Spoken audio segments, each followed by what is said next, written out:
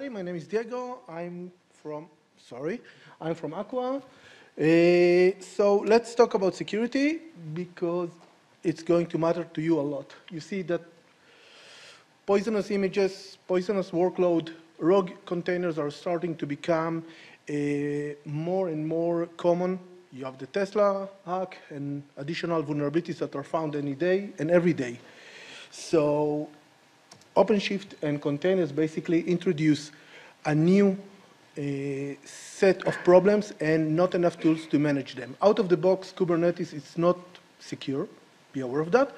OpenShift did a very good job, Red Hat. IBM, Red Hat, what do you call it now? Red Hat. Red Hat, okay. Red Hat. Did a very good job protecting and making their uh, environment safer, but still there are much more things to achieve. Even that, uh, based on the lecture that I heard today, version 4 is supposed to be much more secure. So here is Aqua. We are a three years company. Uh, we are spread all, all over the world, and we do security for native cloud payloads, native, uh, native, native cloud applications. We know how to integrate with all the different orchestrators that exist.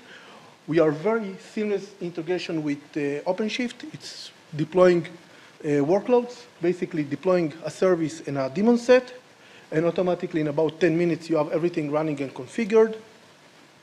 We have the ability to integrate with the image streams of OpenShift, so we will be able to scan the images from the OpenShift registry, and also we have the ability to search the images. If you're looking to see exactly what images exist over there, you can schedule scanning and more, uh, and you can understand what is your posture in your image. You can understand what vulnerabilities you have, what components of you have in, in every image, and you can define if you want to uh, deploy the image or block the deployment. You can see that basically when you will try to deploy the image, Aqua will be able to stop that and give you a notification. So no poisonous image can be deployed or non-compatible image will be deployed. Not only that, we are able to integrate with S2I, so we basically can scan and be part of your pipeline.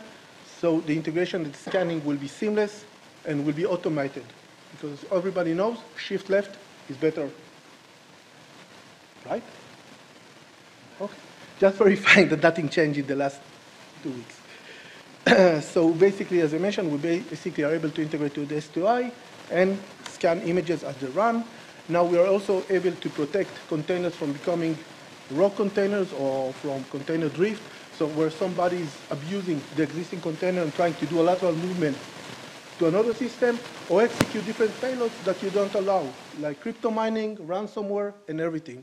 So we're able to identify and try and block without killing your payload any offending action that exists.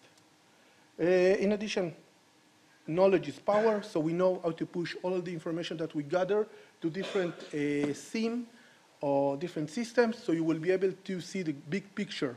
So now your NOC or SOC not only will show you your system or your Kubernetes information, OpenShift information, but also we will be able to show you the security posture and what security events you have in that system. So you have a full visibility of what exactly happened and more. And the context of the information is based on your OpenShift. It will be deployment uh, namespace, uh, sorry, deployment name, space, space name, forgot the word, never mind. And on. In addition, we are very big contributors to the open source system, so we have a set of tools that are open to use, free. You also can contribute to them. We have the KubeHunter that it's basically uh, automated pen testing for Kubernetes. We are working on a version for OpenShift also, but it's much more harder. I want my lunch. Uh, it basically allows you to find all the misconfiguration in Kubernetes. You have the kubebench that basically is allow you to find and define the difference between you, your Kubernetes installation, and your the CS for Kubernetes, working also for a version for OpenShift. And the microscanner that is basically an executable that you can use free of use as to scan your images to make sure what CVs you have over there and what type of uh, changes you need to do in order to be more secure. Doesn't require any registration. You can run it on S2I, on a Dockerless environment, during the creation of the image, and it can integrate to different pipelines like Jenkins and other good stuff. Uh, thank you. Our booth is on the left, then to the right, and we have semi-cool giveaways, so feel free to come. Just, just semi-cool. All right, thank you. All right.